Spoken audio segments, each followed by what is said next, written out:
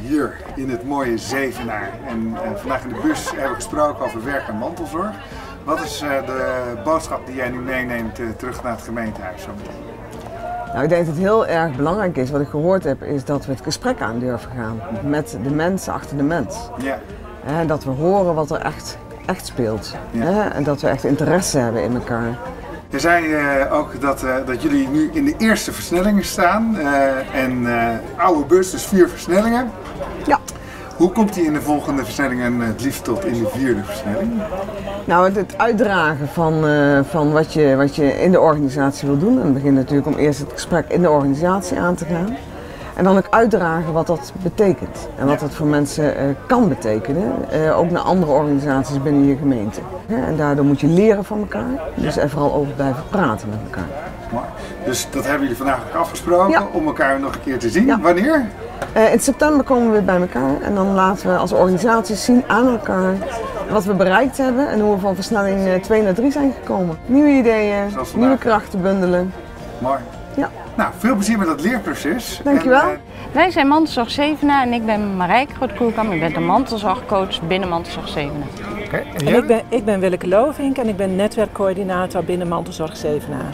Jullie waren de gastvrouwen van vandaag, toch? Ja, Ja. klopt. En wat is er vandaag gebeurd? We hebben de bus on tour eh, samen met Werk en Mantelzorg georganiseerd met als doel om met werkgevers in gesprek te gaan over werk en mantelzorg. En wat voor gesprekken hebben jullie gehoord? We hebben ervaringsverhalen gehad van eh tweetal mensen die hebben verteld over hoe het is om en te mantelzorgen en te werken. En eh, eh, de disbalans die daarin kan ontstaan en hoe belangrijk het is om met je werkgever in gesprek te gaan. En jullie kunnen daar ook in ondersteunen, toch? Als mantelzorgzevenaar. Ja, klopt. Wij, ik als mantelzorgcoach heb individuele gesprekken bij mantelzorgers thuis. Daar gaan we ook altijd kijken bij waar werk je, wat zijn, lopen mensen daar tegen problemen aan. Kunnen wij aanbieden om mee te gaan naar de werkgever om daar mantelzorg te bespreken.